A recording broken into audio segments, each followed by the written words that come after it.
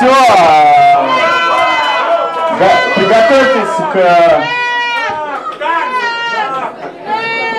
жирным и потным мужчинам.